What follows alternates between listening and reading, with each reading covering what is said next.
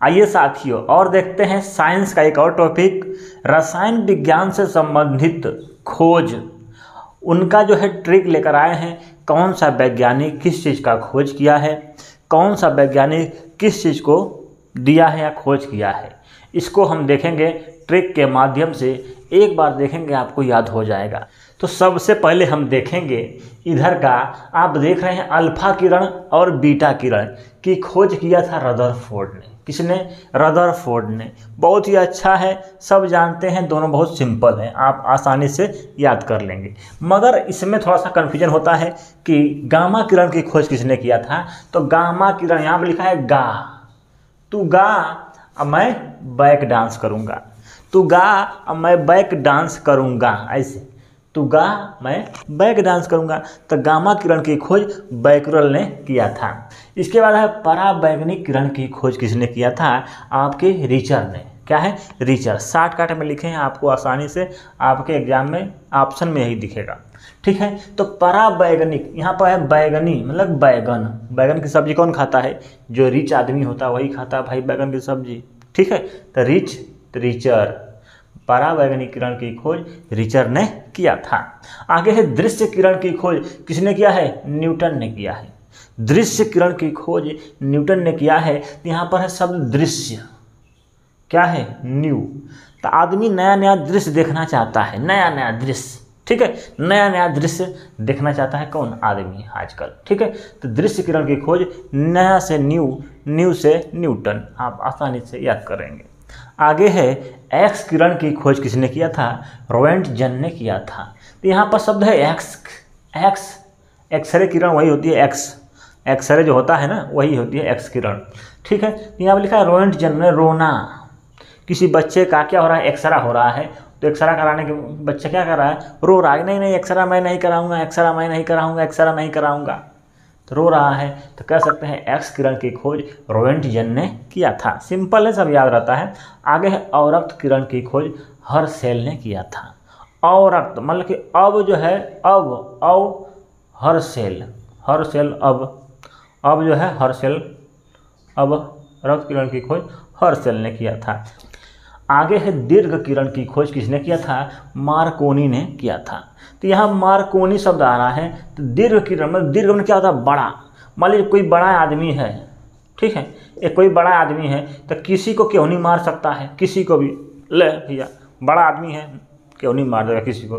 तो दीर्घ किरण की खोज मार्कोनी ने किया था। ऐसे याद कर सकते हैं। किसी को कोहनी मार सकता है। इसके बाद है आवर्त सारणी की खोज किसने किया था? मेंडलीफ ने किया था। आवर्त सारणी, सब जानते हैं बच्चा, कक्षा नौ से ही पढ़ना स्टार्ट कर देता है। तो ये सबसे आसान है, आप जानते होंगे। आगे है आधुनिक आवर्त सारणी की खोज किसने किया था? मोसले ने किया था। ठीक है? मोसले कहिए मोजले कहिए ठीक है? मोसले इसका नाम है असली। आधुनिक आवर्त सारणी की खोज मोफले ने किया था। ठीक है? बहुत ही इंपॉर्टेंट है। कभी जब आधुनिक पूछेगा तो मोसले खाली बोलेगा आवर्त सारणी तब तो मेंडली। आगे है, ऑक्सीजन की खोज किसने किया था? जोसेफ पिस्टले ने किया था। ठीक है? तो ऑक्सीजन देखे होंगे। ऑक्सीजन बड़े बड़े पिस्टलों में आता है। ऐसे ऐसे जो पिस्टल होता है ना बड़ा बड़ा ऐसे पिस्टल होता है बड़ा बड़ा उसी में ऑक्सीजन रहता है। ठीक है? तो पिस्टले से पिस्टल पिस्टल, ऑक्सीजन की खोज जोसेफ पिस्टल ने किया था। आगे है इलेक्ट्रॉन की खोज जे जे थॉमसन ने किया था, प्रोटॉन की खोज, गोल्डस्टीन ने किया था, न्यूट्रॉन की खोज, जेम्स चेंडविक ने किया था। तो इसका ट्रिक आप जानते थे पहले क्या था? ईट पर नाच। तो ईस्ट, ईट से हो जाएगा इलेक्ट्रॉन, ईट से हो जाएगा थॉमसन। न, थॉमसन थॉमसन बात एक ही है, ठीक है? आगे है प्रोटॉन की खोज, प से पर। तो प से प्रोटॉन, आर से रदरफोर्ड होता था, लेकिन रदरफोर्ड नहीं है।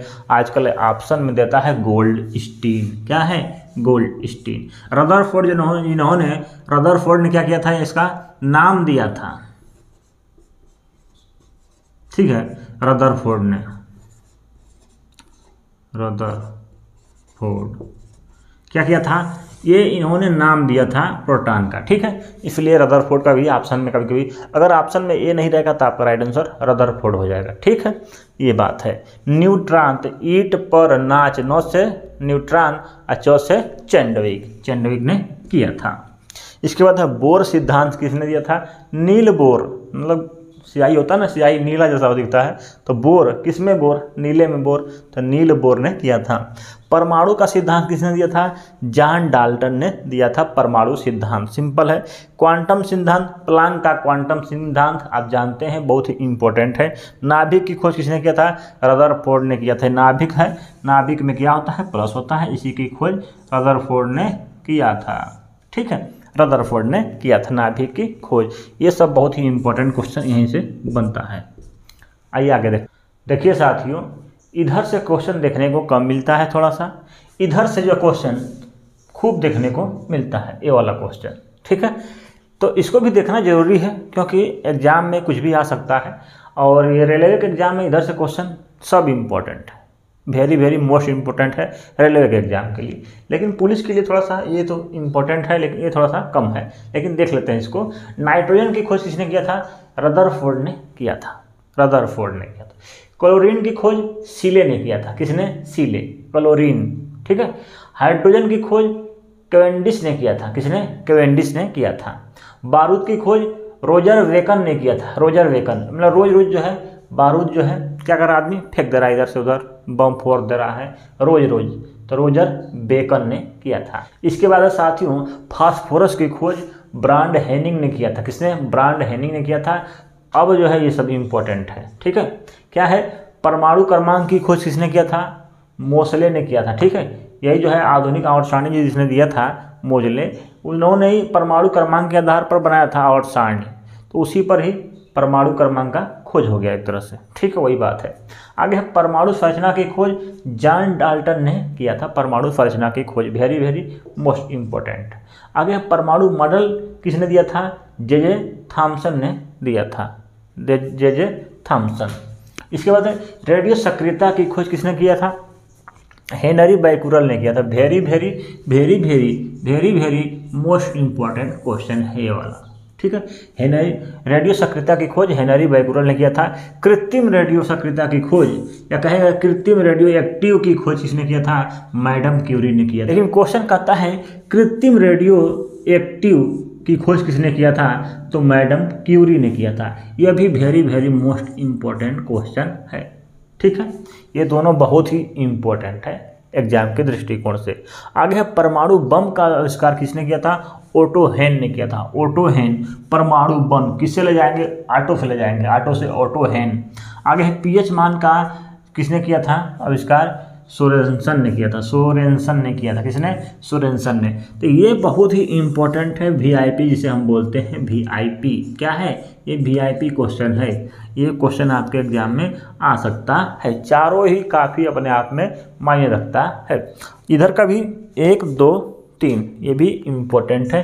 Very very most important question ठीक है? तो ये वीडियो आपका होता है कवर देखने के लिए धन्यवाद। जय Hind. Thank you bye bye